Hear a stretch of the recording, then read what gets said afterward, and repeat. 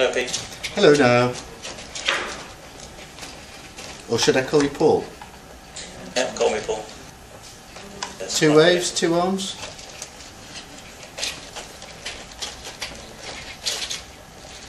And can you see your own hands? Just about. Yeah, it doesn't quite focus in both eyes.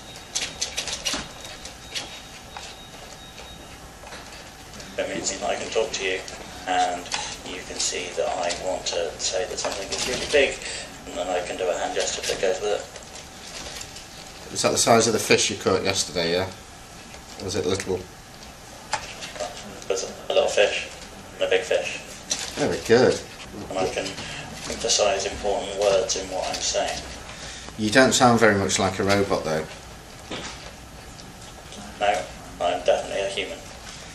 But you look like a robot. Yeah, that's that's something we have to have to deal with and see how me looking like a robot affects how you talk to me. Can you do a robot dance? Uh, no, That's good. I think Peter Crouch would be um, envious